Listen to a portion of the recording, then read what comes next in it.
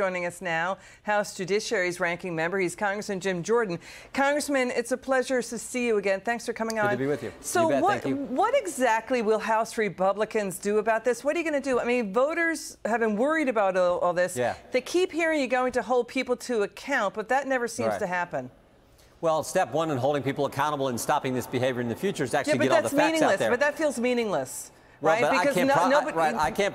You know, you know, Liz. I can't prosecute anyone. The only, only the Justice Department can. But if you highlight what they've done, you have a better chance of stopping it. And so that's our constitutional duty in the legislative branch, and we're going to focus on that. So, uh, yeah, we. Uh, here's one. Here's one question I have. This Elvis Chan, a guy who was working at the FBI, who was doing these weekly briefings in the run-up to the 2020 election.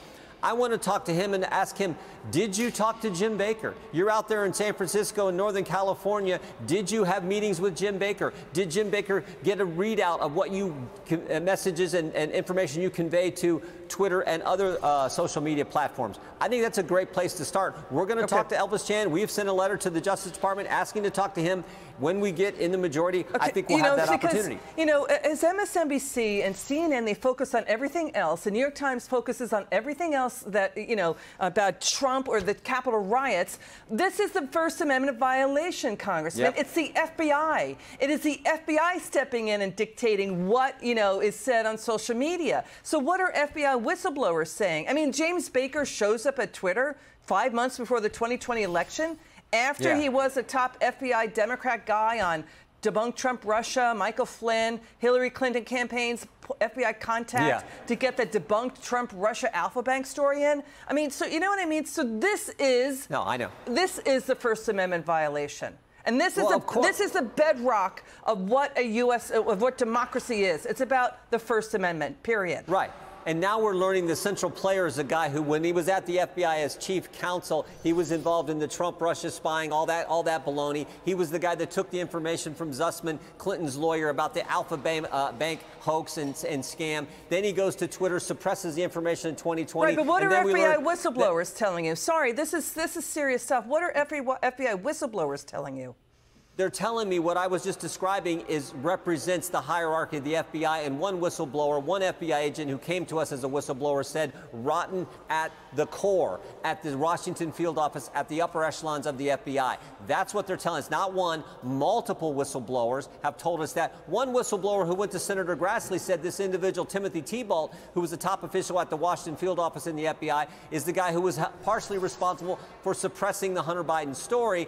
We had a different whistleblower mention that same name and say he was also an agent who was who was pressuring uh, other agents to label all cases as domestic violence extremism. So politics runs rampant at the Washington field office. That's what we got to uncover. Get all the facts out there so that we can change it and stop it.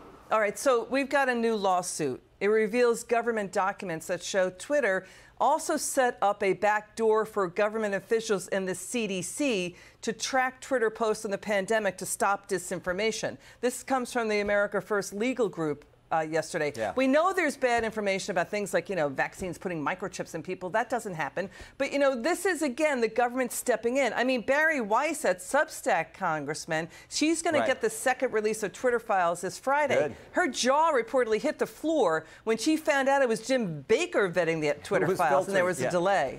Yeah, yeah, no, I, it's it's that bad. This this collusion of big tech, big media, big government to keep information from we the people. I said this earlier, but it was actually a colleague of mine who said a couple months ago. When is the FBI just going to stay out of elections and let we the people decide?